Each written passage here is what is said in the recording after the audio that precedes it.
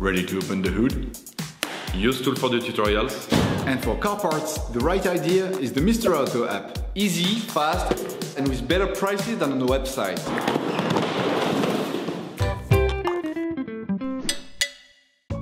You can find the catalytic converter from the Easy to Fit kit by Faurecia used in the video through the link in the description.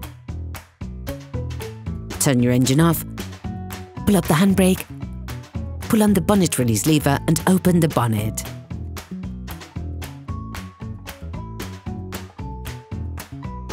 Unplug the battery.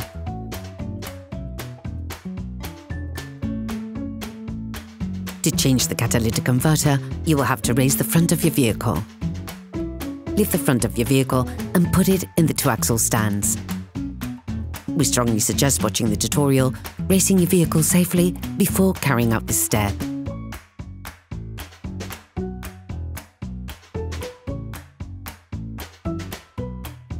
The catalytic converter is located at the end of the exhaust line, just behind the engine.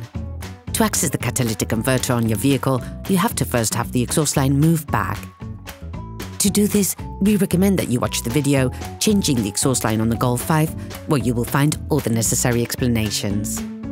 Start by removing the crankcase, which will enable you later on to access the different elements that you will be handling. You can now see the catalytic converter and the clip which connects it to the turbo compressor. Using a 5mm Allen key, unscrew the screw on the clip. Then free the screw and with the help of a screwdriver, open up the clip to free the catalytic converter. You can now remove the clip.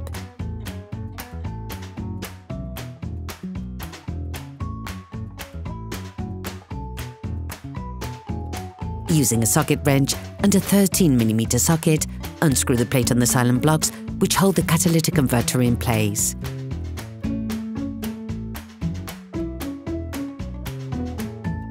Once unscrewed, the whole catalytic converter will be free and you can remove it. Please support us. Subscribe and like the video, that will be really cool.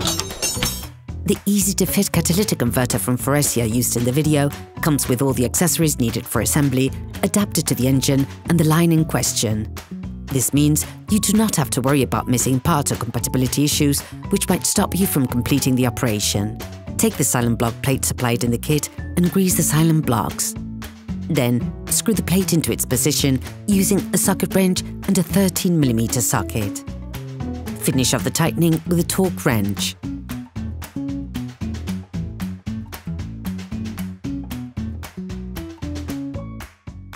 Take the catalytic converter as well as the tube supplied in the kit. Take the adapter sleeve in order to connect the two pre-prepared elements, each marked with a blue line on their sides.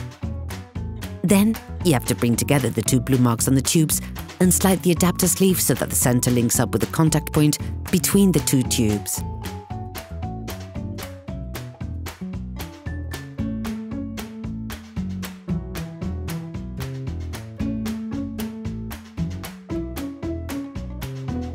Once properly in position and using a 13mm spanner, screw the two nuts on the adapter sleeve, which will make it possible to create a complete seal.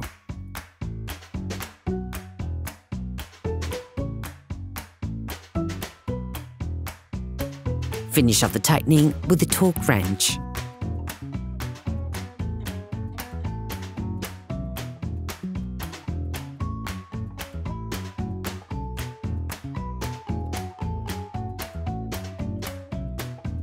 Now, take the metallic seal provided in the kit and install it on the catalytic converter inlet. The seal is convex, so you have to position the convex part of the joint against the catalytic converter. Then, take the clip provided in the kit and open it slightly.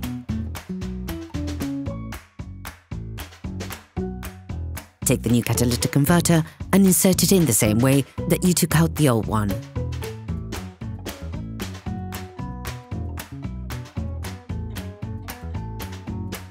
Put the two rods into the previously installed silent blocks.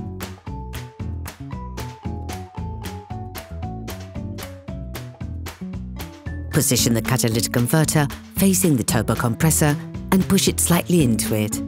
Then put the clip in place on the position where they join. Putting the clip in place can be difficult, so be patient. Once the clip is in place, tighten it with a 5mm Allen key.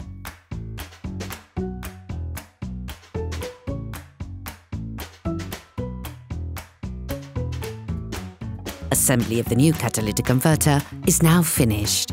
Put the exhaust line back in place and screw it back in. Finish off the tightening with a torque wrench.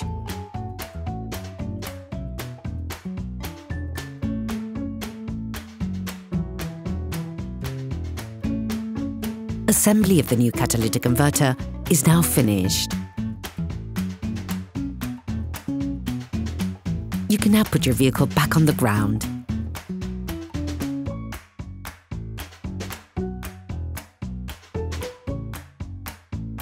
Reconnect the battery. On certain vehicles, it may be necessary to indicate the onboard computer that the catalytic converter has been changed to ensure that the vehicle can work as best as it can.